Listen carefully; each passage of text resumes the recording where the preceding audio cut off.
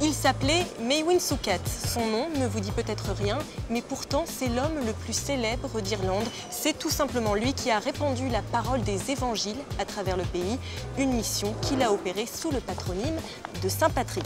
Un personnage que les Irlandais du monde entier honorent tous les 17 mars. Pour explorer la genèse de l'Irlande à travers cette figure emblématique, nous recevons un universitaire spécialiste d'histoire et de politique irlandaise. Bonjour Maurice Goldring. Bonjour. Alors ce qu'il faut savoir, c'est qu'il y a toute une légende autour de la jeunesse de Maewyn Sukat, donc alias Saint Patrick. Il serait né en Grande-Bretagne en 385, puis aurait été enlevé par des pirates irlandais. Voilà, il a été esclave.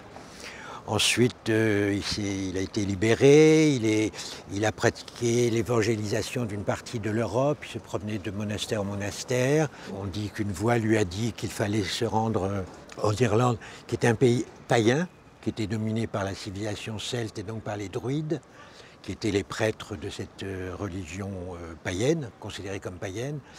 Et s'est promené dans, tout, dans toute l'Irlande et on raconte que Saint Patrick passait son temps à discuter avec les druides de manière extrêmement convaincante et qui les a convaincus comme ça. Pour revenir un peu sur la, sur la légende de, Saint Patrick, la légende dit qu'il considérait que, donc, que les mystères de la nature euh, trouvaient leurs explications dans les évangiles.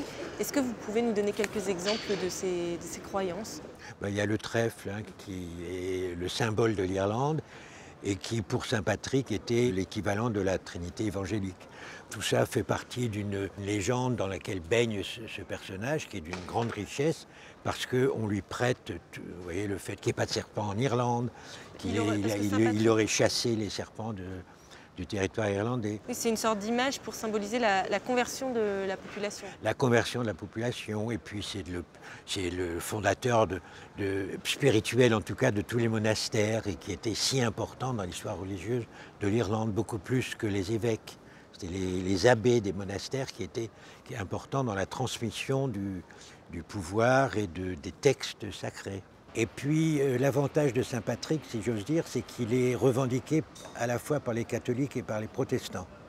C'est un des rares saints qui est reconnu par, euh, comme fondateur de l'Église catholique en Irlande, mais que les protestants essayent aussi de revendiquer comme euh, faisant partie de leur tradition à eux aussi. En fait, Saint Patrick, c'est véritablement la figure de proue de l'Irlande. C'est la figure de proue qui est assez consensuelle pour euh, rassembler tout le monde.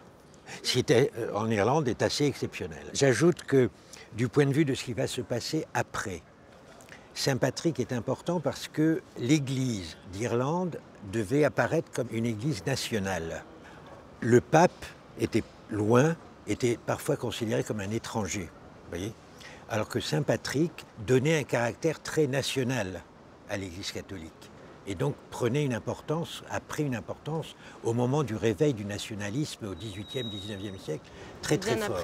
Voilà. Du coup, est-ce qu'on peut considérer qu'une grande partie de l'unité euh, historique irlandaise repose euh, sur les épaules de Saint-Patrick Saint-Patrick est revendiqué par les nationalistes notamment comme la preuve que tous les Irlandais peuvent se reconnaître dans une histoire commune.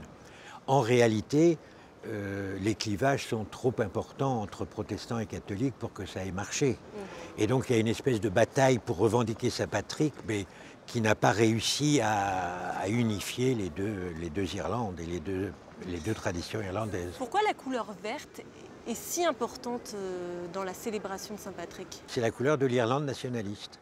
Orange, c'est la couleur de, des protestants, de la tradition unioniste.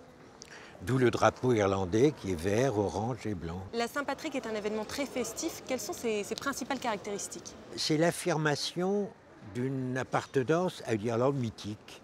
Alors on s'habille en vert, on chante les chansons irlandaises, il y a des orchestres qui chantent les chants traditionnels irlandais.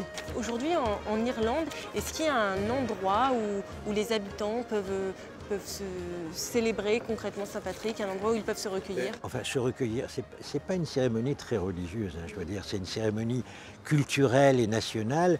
Et donc, euh, même si les évêques et les prêtres sont présents dans les défilés, ce n'est pas les prières qui sont l'élément le plus déterminant. Cette date du 17 mars correspond à, la mort de Saint Patrick en 461 et c'est aussi un moyen pour les Irlandais d'affirmer leur présence sur la scène culturelle mondiale. Il faut bien se rendre compte que l'Irlande est un petit pays qui occupe une place sur, dans l'actualité et la culture mondiale sans commune mesure avec le fait que c'est il y a 4-5 millions d'habitants, un petit territoire, etc. Alors une des raisons, c'est l'émigration. Il y a beaucoup plus d'Irlandais ou de gens qui se déclarent irlandais qui sont nés en dehors de l'Irlande que d'Irlandais qui sont nés en Irlande même. Il y a une diaspora qui comprend des 10, 20, 30 millions. Vous voyez, les, les limites sont très très floues de ce point de vue-là, hein, puisqu'on compte 20 millions d'Irlandais aux États-Unis.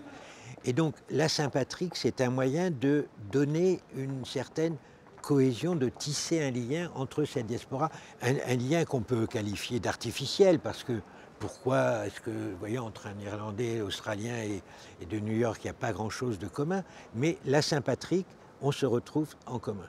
Donc la base, c'est la diaspora, et Saint-Patrick, c'est devenu le moyen de tisser un lien symbolique entre toute cette, euh, tous ces gens qui ont émigré et qui, euh, qui sont très importants parce qu'ils ils agissent comme relais pour la politique irlandaise, pour euh, la culture irlandaise, la musique.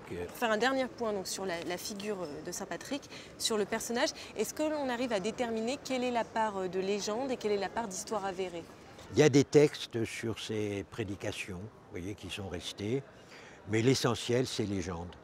Mais Mais il Dans a réellement existé. Ah oui, il a réellement existé, c'est un personnage historique, mais dans l'ensemble, ce qui est important, c'est la réalité de la légende, je veux dire. hein. C'est ça qui, prend, qui a pris corps, substance et qui, qui agit encore aujourd'hui. Maurice Goldring, merci beaucoup d'avoir accepté notre invitation. Merci à vous. À bientôt pour une prochaine émission.